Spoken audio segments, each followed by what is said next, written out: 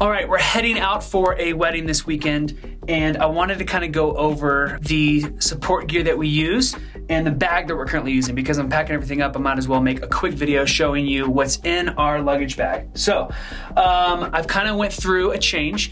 We originally used a longer uh, bag by Neewer, didn't like it. This is the Manfrotto roller bag or a trolley bag really good for lighting system, but it works for all of our support gear for weddings. So anything that's not gonna be camera based, it's not gonna be battery based, uh, pretty much what we can film an entire wedding without. If we can go without it and successfully shoot a wedding, then it will go in this bag. So technically it's tripods, light stands, uh, gimbal, things that are helpful for a wedding, but it's not required for us to actually shoot a wedding. We're gonna keep all that with our travel bag that's gonna be going on as a carry-on whenever we're flying. So this is gonna be checked.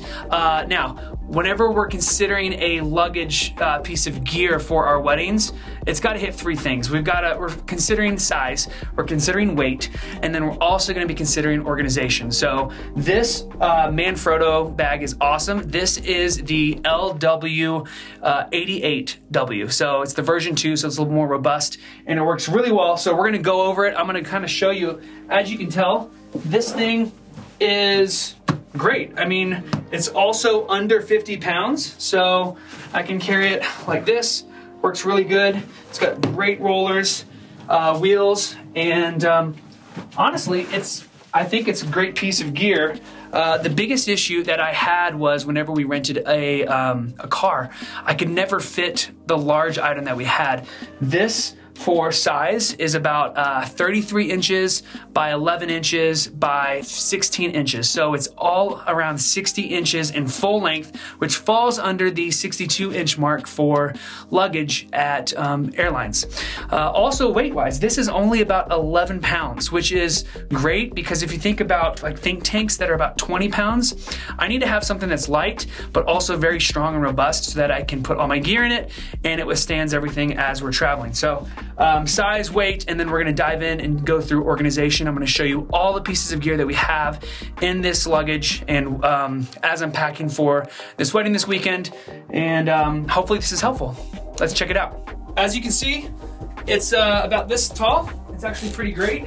Um, and it rolls extremely well. Uh, I love it uh, for airports, and I can fit this in a um, rental vehicle as well. Let's go ahead and take a look at what's inside. All right, so this is all the gear that we use for weddings, um, and this is the support gear. So I'm gonna have my tripods, monopod, I'm gonna have a gimbal. I even have the Tilta advanced ring grip that I have in here.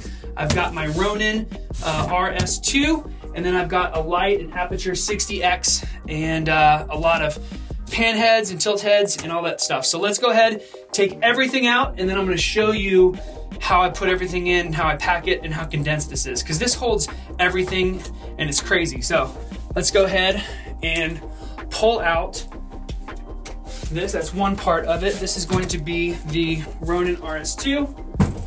And then we have the Aputure 60X. And uh, this thing fits right over there.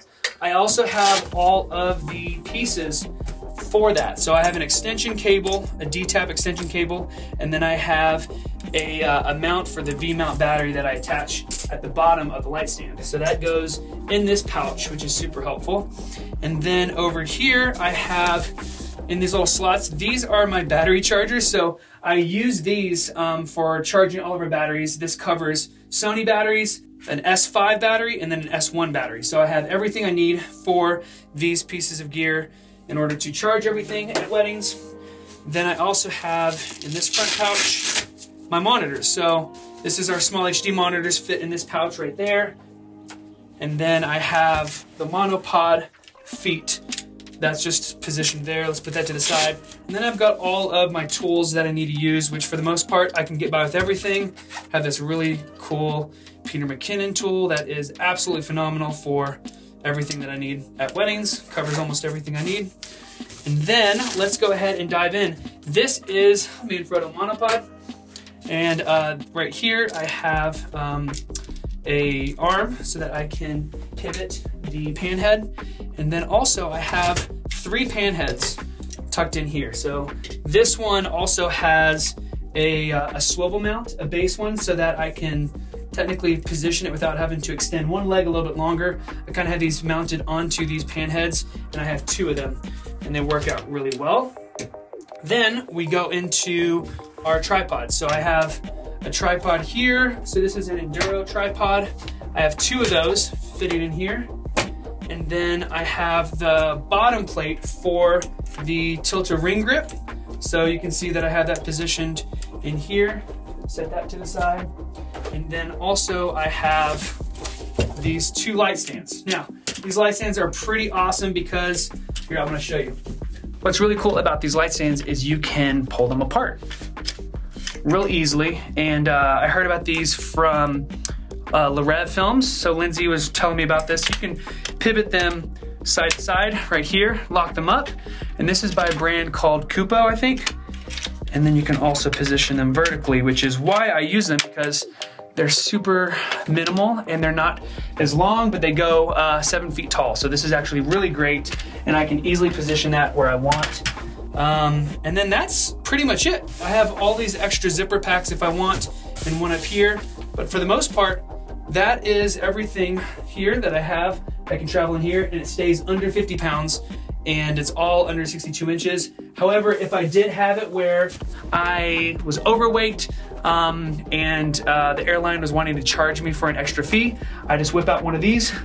This is my media pass, and it also has the fine print on the back so that they can't charge me or they can't overcharge me.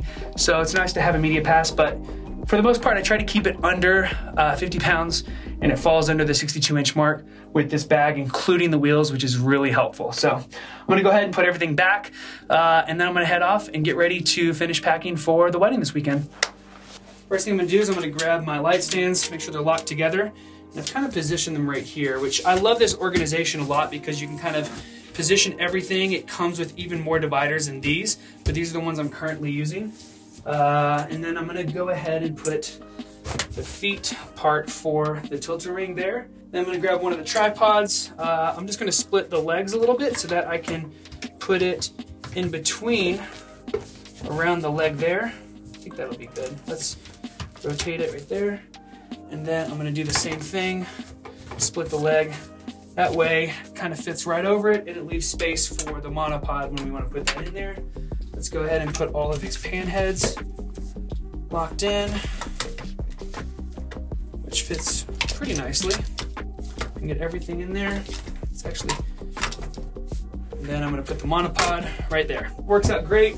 Then I'm gonna grab my Ronin RS2, which also has uh, my small HD monitor, also has the handles for the Tilta ring grip and everything. Unfortunately, I can't keep batteries in here because I'm traveling. Uh, it can't be in check bags, so it has to be carry-on. So I take all the batteries out of everything, which can't go in here. Let's go ahead and grab the monitors, put them right here.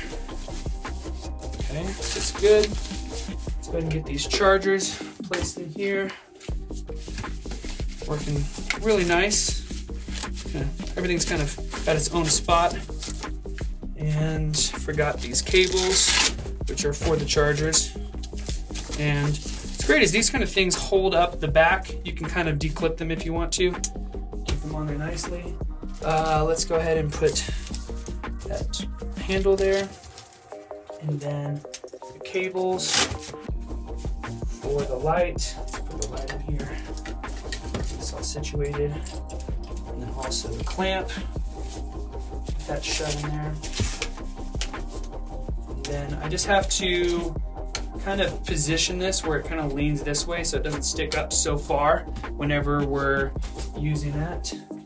And then also I have this this uh, top piece come off, it would be so much better, but unfortunately it doesn't. So this is the best route I've got where it can lay flat. And then I just put the feet to the monopod here, reclip it, and everything has got its own place.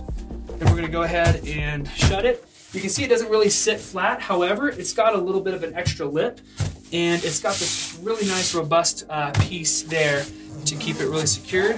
And I'm not stressing anything on the zipper, which is really nice. And you can actually put a lock on it too. So that's what's really helpful. Um, but overall, that's what you got. I'm gonna leave links to all the gear that you saw in this bag, all of our support gear, gimbals, tripods, light stands, and where you can pick up this bag. Cost is around $450, which is kind of a lot, but it's a lot more affordable than a think tank.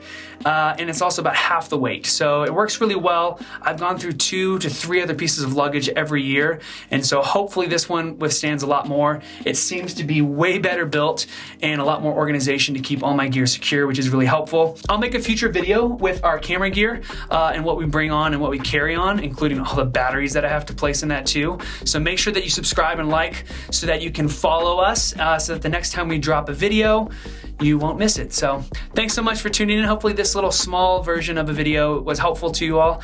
Um, and let me know what you think in the comments. Later.